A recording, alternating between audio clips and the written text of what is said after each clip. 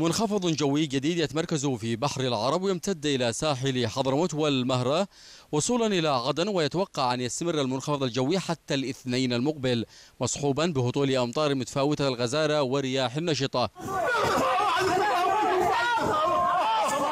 هيئة ورصاد حضرموت حذرت من توسع أحزمة الحالة الجوية المتوقعة من العواصف الرعدية على هضبة وادي وأرياف ساحل حضرموت وتمتد إلى أجزاء من الساحل الغربي. ويرافق تلك العواصف أمطار متفاوتة الشدة ورياح نشطة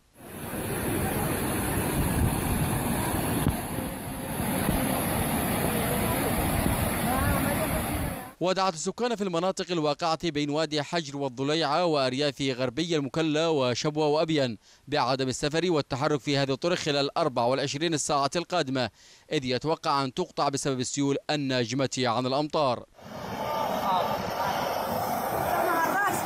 وزارة الصحة والسكان وجهت برفع جاهزية المرافق الصحية المختلفة في المحافظات المزمع أن تتأثر بالمنخفض الجوي القادم شملت التوجيهات تفعيل إدارات الطوارئ في المستشفيات والمرافق الصحية والعمل بخطة الطوارئ المعدة من قبل وزارة الصحة لمجابهة أي كارثة محتملة.